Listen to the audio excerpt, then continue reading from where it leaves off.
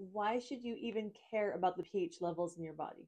Because many of the systems in your body rely on pH balance to function at optimal levels. Many things can cause pH imbalance in our bodies.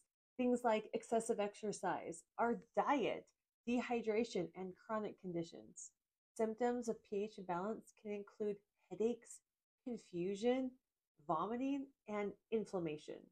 So, how do we help our bodies maintain a healthy pH balance? Many experts suggest the following stay hydrated, eat a healthy, balanced diet, move and stretch daily, consume healthy, supportive supplements as directed by health professionals. And to help your body get a jump start, consider a detox, such as Cell Dtox by Wellness Extract. Cell Dtox is a major antioxidant cleanser uses humic and fulvic acids known for their antioxidant properties, along with zeolite, a well known chelating agent that can bind the toxins and heavy metals in the body, aiding their removal through the digestive system.